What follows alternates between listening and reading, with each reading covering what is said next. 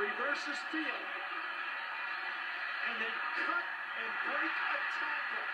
Willie Redmond missed a tackle, and he was gone. Vernon Ole Miss wins his football game. This will be a historic run for Ole Miss. 91 yards. 91 yards, and she is saying, oh, my goodness.